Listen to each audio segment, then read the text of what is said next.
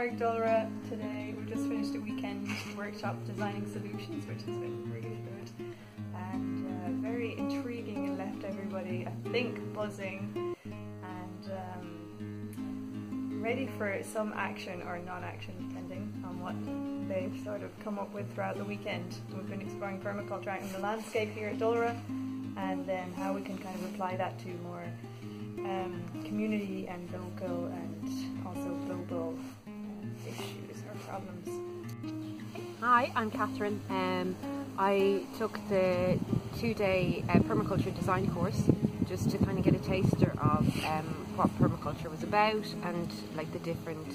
uh, areas of knowledge and the techniques and I just found it really, uh, we're in Carraig Dulra which is beautiful, you can you know pan around, it's beautiful um, and it's a really um, restorative uh, experience and uh, I just really wanted to do something that was practical and had a lot of ideas and like connected out into the world but had kind of ways of me um, as a mum you know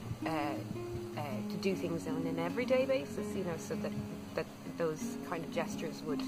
um, echo out and that it would ripple so um, yeah, I totally recommend this place and the people who are involved um,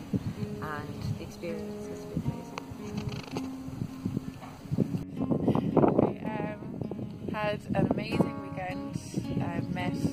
such a variety of people, uh, so much experience and depth in our conversations and I wish that it had been much much longer than two days because I feel like we only started to kind of scratch the surface of things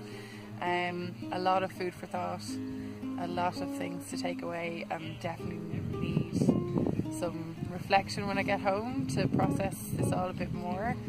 But it feels like the beginning of an amazing journey, um, and I hope to be back here again someday.